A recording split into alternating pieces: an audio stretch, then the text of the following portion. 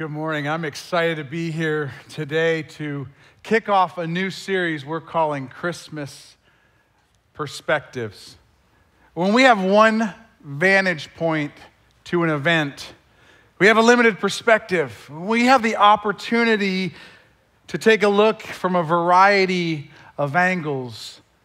We get a clearer and more thorough picture of the event.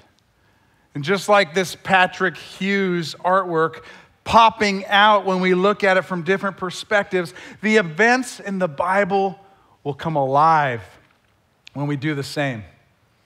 The birth of Jesus is one of the most significant events in history. And in this series, we'll be looking at the story of Christmas, the birth of Jesus, from five unique perspectives. Pastor Kevin is going to look at Christmas through the eyes of wise men and shepherds and, and angels and God the Father and Christians.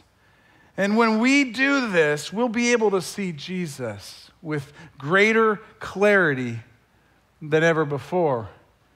And today we're going to start by looking at Christmas through the eyes of parents. Being a parent, I can tell you, and many of you here know the same thing, the anticipation of expecting a child is a very complex mix of emotions. From uncertainty about what life will be like to, to how the pregnancy is going to go to how the delivery is going to go, to, to what's going to happen along the way and what's this child going to be like and how am I going to parent them. My wife and I read every book that we could possibly find, and it didn't do us any good. But can you imagine what it would be like for Joseph and Mary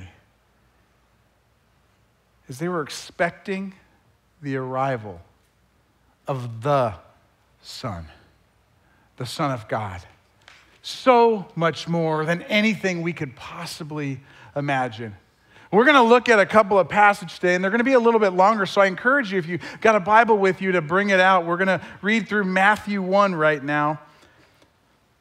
We're going to start in verse 18, and a little bit later, we're going to re- read Luke 1, starting in verse 26. But, but we're going to read an extensive account here, and this is Mar- or Joseph's angle that I want us to look at first. This is how the birth of Jesus, the Messiah, came about. His mother Mary was played, pledged, sorry, his mother Mary was pledged to be married to Joseph, but before they came together, she was found to be pregnant through the Holy Spirit. Because Joseph, her husband, was faithful to the law and yet did not want to expose her to public disgrace, he had in mind to divorce, divorce her quietly.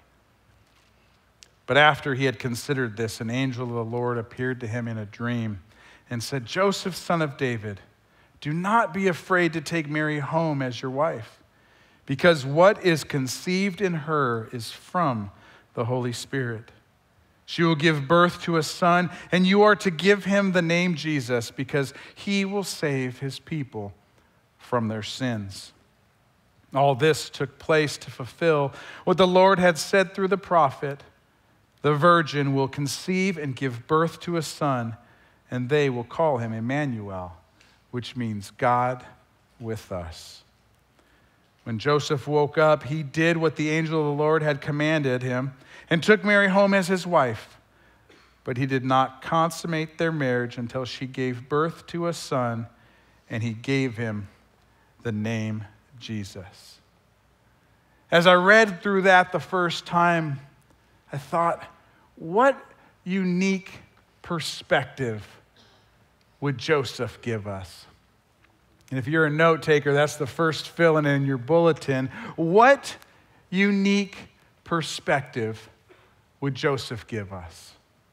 I was thinking through the, the plans of his life and, and how he was looking at what his future would hold. And I thought about how most of us make plans for our lives.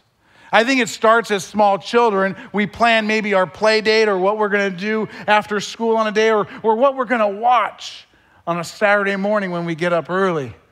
Those are the big plans for me as a kid is what Sunday morning cartoons I got to watch on our sweet black and white TV.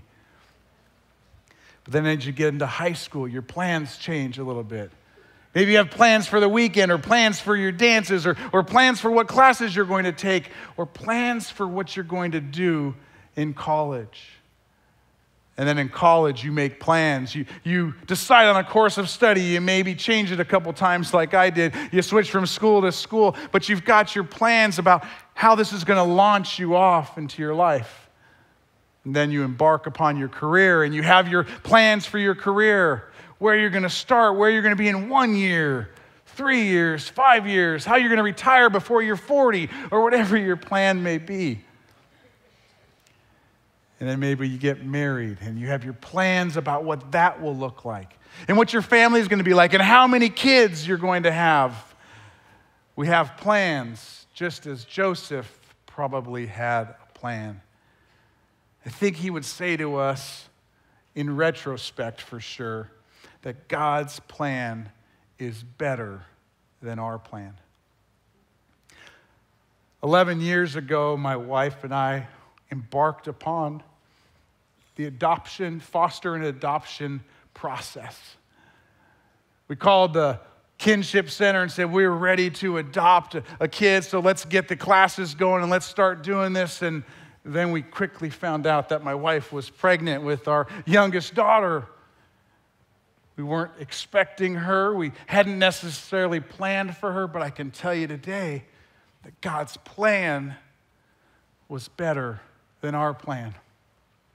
When an angel appears to Joseph and says, Your wife is pregnant and this is the Son of God, I got to imagine in that moment he wasn't thinking, This is the plan I want. But in retrospect, I'm sure he could say, God's plan is better than our plan.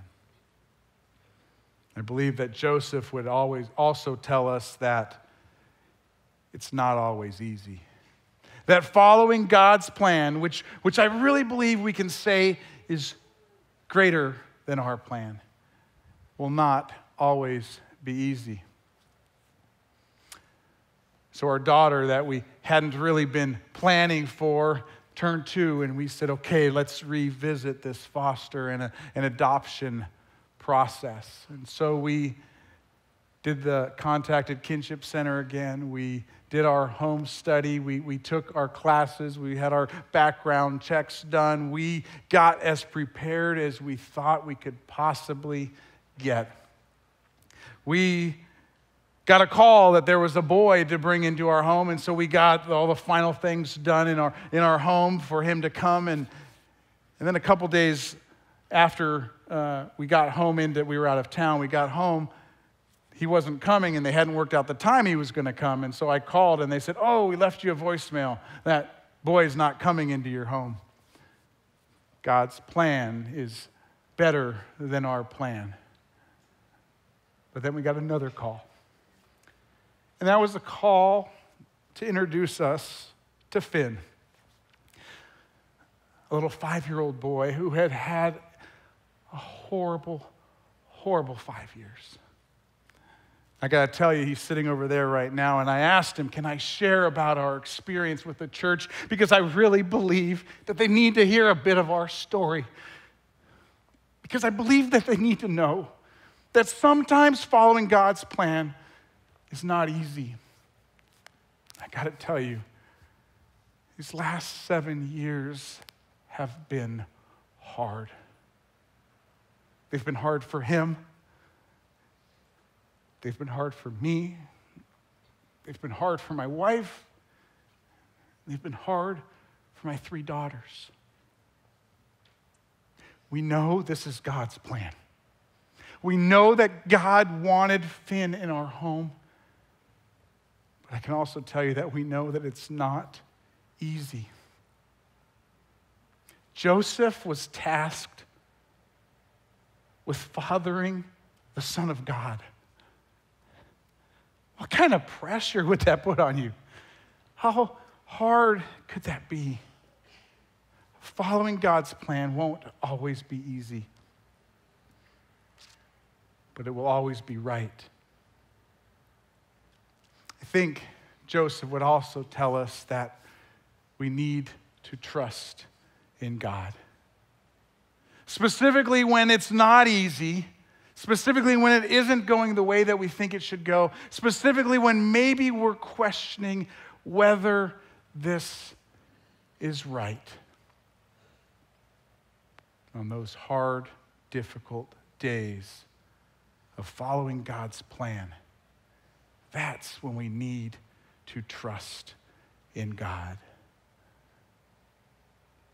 I know for Joseph, there had to be plenty of days where he had to be reminded that God's plan is better than his plan, that he had to be reminded that it won't always be easy, that he had to be reminded that he needed to trust in God. That was the truth for Joseph 2,000 years ago, and it's the truth for us today. And while Joseph and Mary both had the same general experience in that they were going to parent God's son, I truly believe that they have different perspectives that come into this. So let's read a little bit about Mary's story in Luke 1, verses 26 through 38. We read in the sixth month of Elizabeth's pregnancy, God sent the angel Gabriel to Nazareth, a town in Galilee, to a virgin pledged to be married to a man named Joseph, a descendant of David. The virgin's name was Mary. The angel went to her and said, Greetings, you who are highly favored. The Lord is with you. Mary was greatly troubled at his words and wondered what kind of greeting this might be. But the angel said to her, Do not be afraid, Mary. You have found favor with God. You conceive and give birth to a son, and you are to call him Jesus. He will be great, and he will be called the Son of the Most High. The Lord God will give him the throne of his father David, and he will reign over Jacob's descendants forever his kingdom will never end. How will this be? Mary asked the angel, since I am a virgin.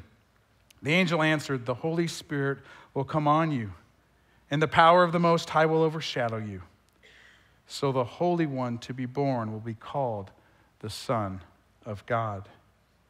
Even Elizabeth, your relative, is going to have a child in her old age. And she who was said to be unable to conceive is in her sixth month. For no word from God will ever fail. I am the Lord's servant, Mary answered. May your word to me be fulfilled. Then the angel left her.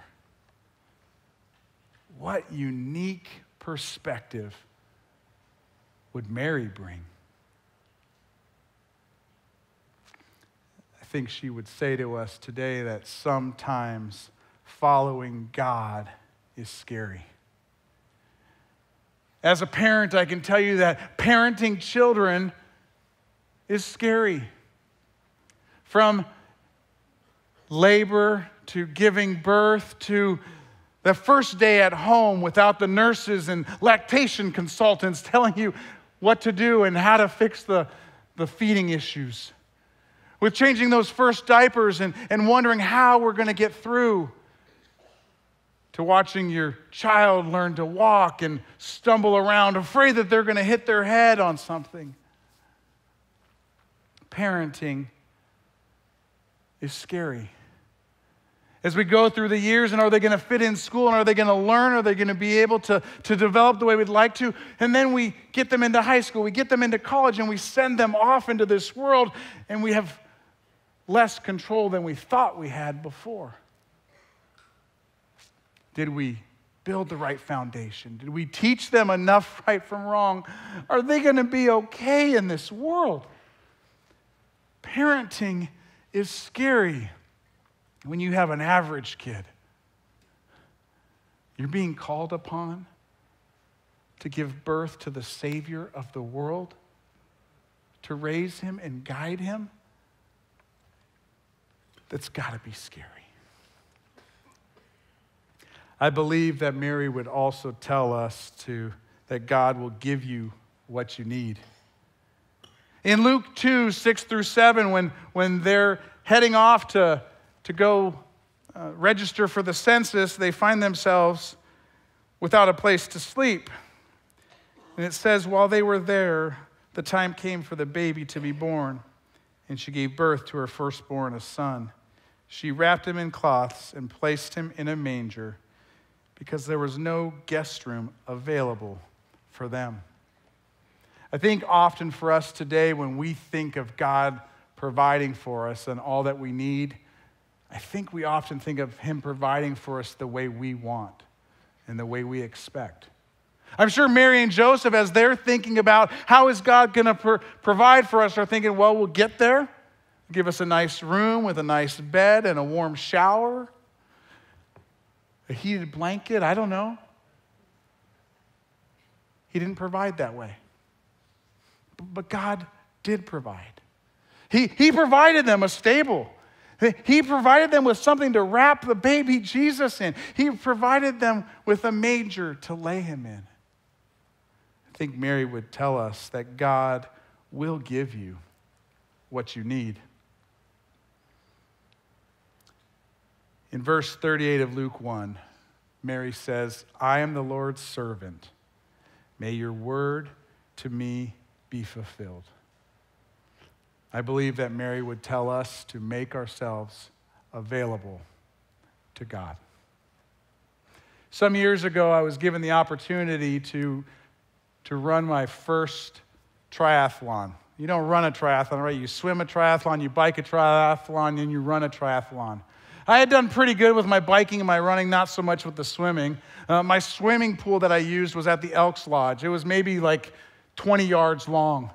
And so I'd gotten to this place where I would swim across and then I'd check my time. I'd take a break. I'd swim back across and I'd take a break. And that was my swimming adventures. Well, the triathlon came. It was the Wildflower Triathlon. And it was a kind of a neat thing because the night before the triathlon, I met with a group of people called Multi Sport Ministries. And there's a bunch of athletes who were Christians who would come together. And so we came together as a group and we just kind of shared stories and life with each other. And, and then we had a time to pray. And we would go around in the group and share what our prayer requests are. And then someone else in the group or several people would pray for them. So one person had a, uh, a, a knee that wasn't working very well and they had knee surgery. And this was their first, first triathlon after their knee surgery. And so they asked for us to pray that their knee would hold up. It was a man. So he said, Would you pray for my knee? That it would be strong during the race. And we said, Absolutely. Let's pray for your knee. And we did. And then there was a woman who had had a shoulder that wasn't feeling too well. And, and in a triathlon, you actually use your shoulder quite a bit. Not only in the swimming, but in cycling as well. It's a big thing. And so we prayed for her that her shoulder would hold up. We went around the group and it got to me, and I thought, ah, I should probably pray for my swimming because I'm just not good. Well, I didn't pray for my swimming because somehow God put on my heart a different prayer request. That group that night prayed for me to be used by God the next day. I don't know where that came from other than it had to have been from God because I'm an incredibly competitive person and I had trained hard for this triathlon. And the truth is, I don't know that I really wanted to be used by God. I think I really wanted to have a good time and have an enjoyable race.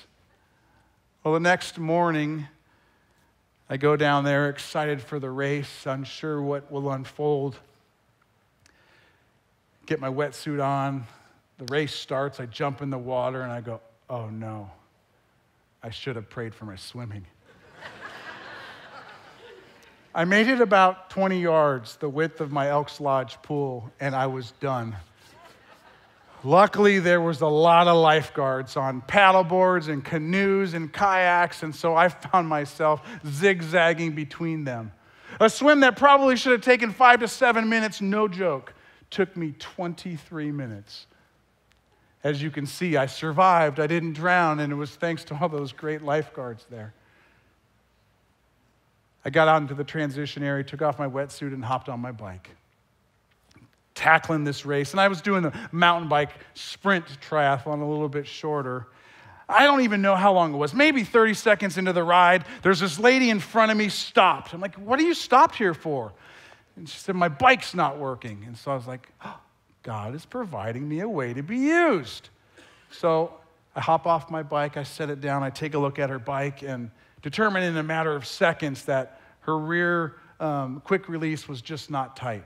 I straightened up her wheel, tightened it up, and she was on her way. And I was like, look at that. God used me. It took me 30 seconds, and now I'm on to my race. This is fantastic. Well, in this race specifically, there's this nice hill you get to climb. And in the mountain bike triathlon, you, you do these couple of loops. You get up to the top on pavement and you come down on gravel and dirt, and then you go back up. Well, in my second loop, I'm just like, I'm ready. Now there's no more hills for me. I'm going to just kill it here. I come down the hill and I get just about to the bottom of the hill and I look over to the right. And there's a lady laying down off the side of the road. I slam on my brakes, I run up back up to her, and I, and I say, Are you okay? And then I look, and her body is just road rash. Like the gravel has just scraped her up.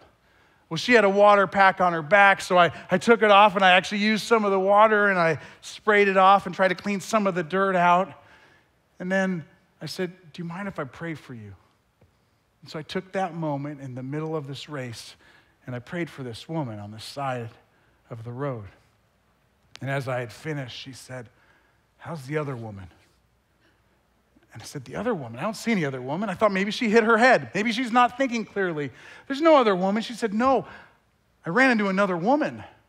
And I said, I don't see it. And I'm looking and I'm looking right around her. And then I look up, hundreds of feet up the hill. And there's a woman off to the side of the road behind a bush. I say, I got to go. I run up the hill, left my bike down there, and I get up to her and I was like, Are you okay? And she said, No, I'm not. She said, I can't, I can't move. She said, I don't know with my lower back, it's my hips. I, I, I can't feel anything down there. Now, I got to tell you, I, I overlooked a major thing here at this point, and I didn't pray for this woman. If I could go back, I would have done so. But I just stopped and I ran up the hill to the last person I saw with the radio and I said, There's a woman down there who needs help bad. So they sent their little golf cart down there and they assessed it and they took care of it. And she was hurt badly. I've got to tell you, when I prayed the night before that God would use me the next day, I had no idea he would provide me with three opportunities. I had no idea to the extent to which He would use me. He used me beyond what I could have imagined. Later that week, I got an email from the lady I prayed with who thanked me for taking the time to pray for her. We exchanged a few different emails, and I could be reminded that God truly used me beyond what I could have imagined. Mary as she's told that she is going to be the mother of the Son of God who's going to bring salvation to all humankind, probably couldn't have imagined how greatly God would use her. Despite the fact that Mary would have lived her life in this process in a scary place she knew that God was going to use her because she made herself available. She said, Let the Lord's will be done in my life. What might Mary and Joseph ask us today? I think they might ask us, Can you hear God when He's speaking to you?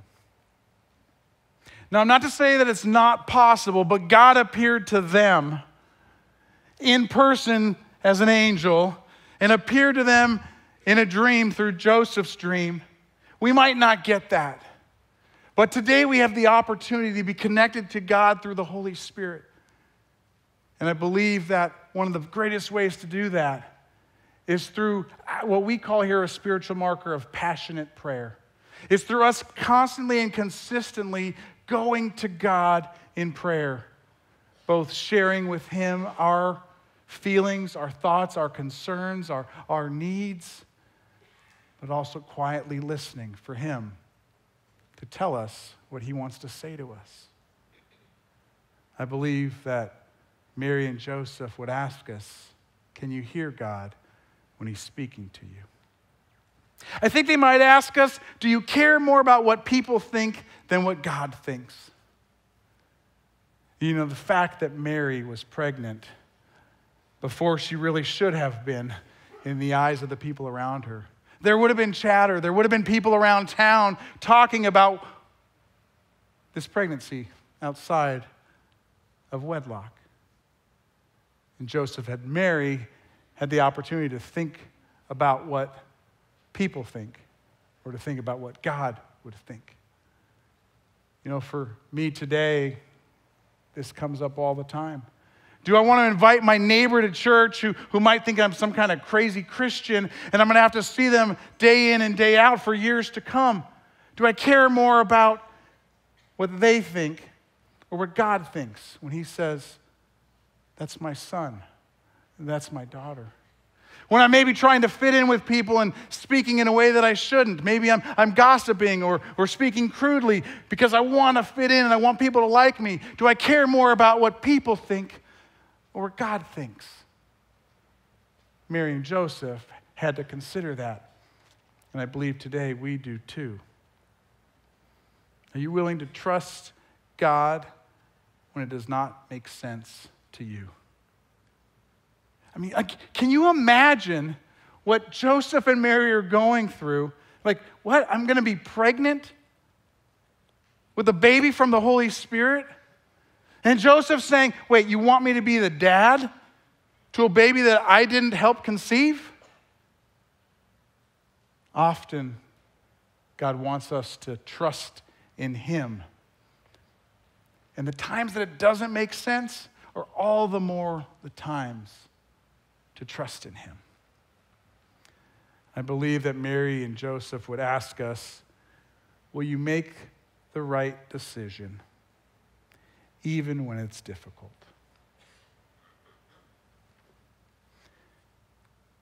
I talked earlier about this foster and adoption process that my family undertook. In the first season of that, Finn was our foster son. And we got to see firsthand the difficulties of that.